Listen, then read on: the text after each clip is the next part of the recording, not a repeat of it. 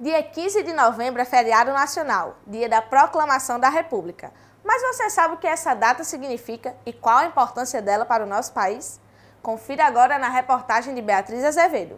Foi um movimento inevitável, era uma questão de tempo é, até que o fracasso do regime anterior, né, do regime imperial, se mostrasse realmente é, é, pleno e, e a situação ficasse insustentável. Houve uma modificação na estrutura do sistema político. A história sempre trabalha com isso. A história sempre vai atrás do passado para justificar algo do presente.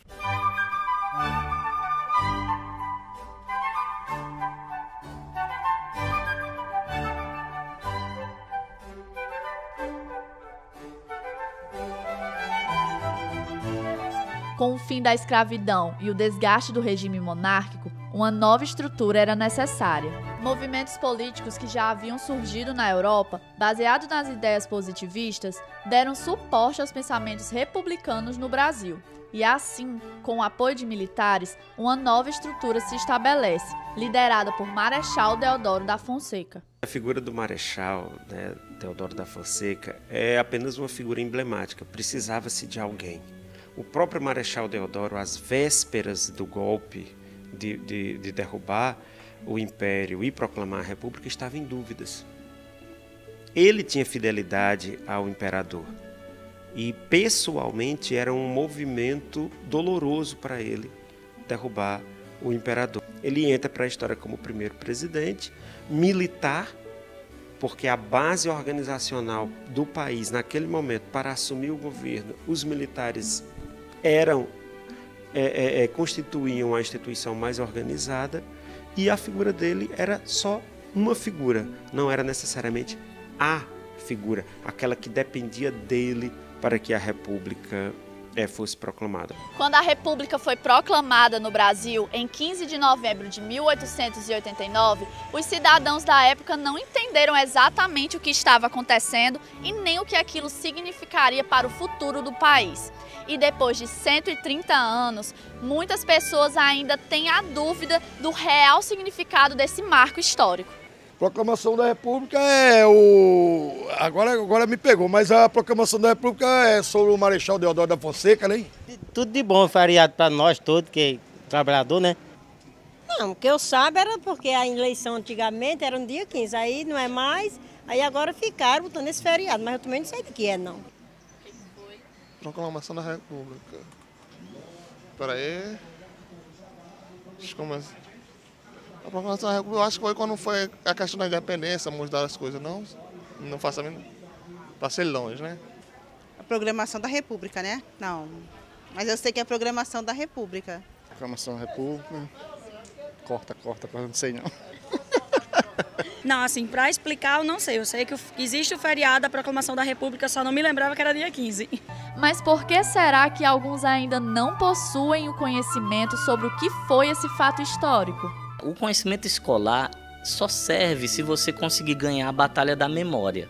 Se você não ganha a batalha da memória, não adianta você ensinar na escola 15 de novembro, 10 de novembro, 22 de abril, 7 de setembro. Essas datas não têm significado se você não trabalhar com a data. O que, que significa? Não é só um feriado, mas é falar da importância dos valores republicanos, do que, que é uma república, por que, que a república, em termos de sistema político, é mais evoluído do que um sistema monárquico. Esses valores que, que, são, que deveriam ser uh, vamos dizer assim, ensinados às pessoas, para a gente ganhar essa batalha da memória. Em alguns lugares já haviam sido adotadas outras formas de governo, sendo grande influência para países da América Latina. Nós fomos o país que, na época das independências das colônias de Portugal e de Espanha, no século XIX, é, saíram da relação né, de, de, de, de dependência né, direta das suas metrópoles, o Brasil foi o único no Cone Sul, por exemplo, que optou por uma monarquia. Então, assim, a, a, a, as ideias e a experimentação do, da forma republicana ajudava a, a, colocar o Brasil como uma espécie de país exótico dentro da América do Sul. Mesmo com a queda da monarquia, a ascensão da república trazia algumas práticas do antigo regime, como direito do voto concedido apenas a um pequeno grupo de pessoas. O próprio Império modificou essa legislação. Houve a, a, a proposta de um voto direto. Ou seja, você não precisaria mais votar num, de, numa, num franqueado e o franqueado votava num deputado. Esse voto direto vai ser justamente o voto é, de adultos alfabetizados e maiores de idade. Então exclui aí mulheres, né, escravos, ex-escravos. Os norte-americanos adotaram o conceito de positivismo francês na segunda metade do século XIX. E essa doutrina desenvolveu uma nova forma de pensar nos campos social, filosófico e político. A partir desses conceitos, foi moldada a República. É a forma mais sofisticada de organização política, né? É aquela que foi, que foi implantada pelos Estados Unidos. Por exemplo, o Brasil copiou, quando proclamou a República, copiou o modelo bicameral de ter duas câmaras, a Câmara dos Deputados e o Senado. Né? Ah, o próprio primeiro nome do Brasil é, é, é igual aos Estados Unidos, né?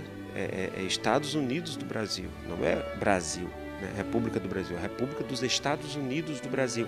Isso mostra a forte influência que as ideias norte-americanas e as ideias positivistas vindas da França é, é, influenciaram, né, tiveram um peso, pelo menos, de guiar as ideias dos, dos proclamadores, do movimento que proclamava por uma república. A história pode ser contada por diversos pontos de vista.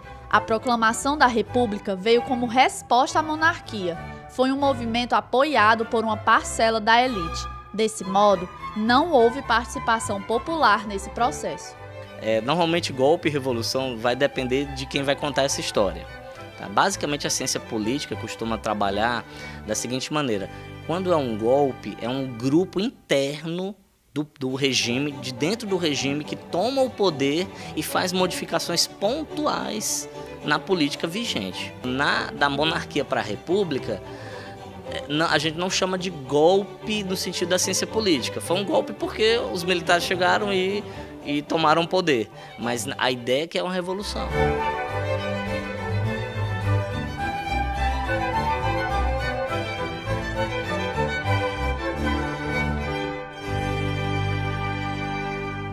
E essa foi mais uma edição do UERN TV Notícias. Acompanhe nossa programação também pelas redes sociais, no Instagram, arroba e pelo youtube.com.br. Até a próxima!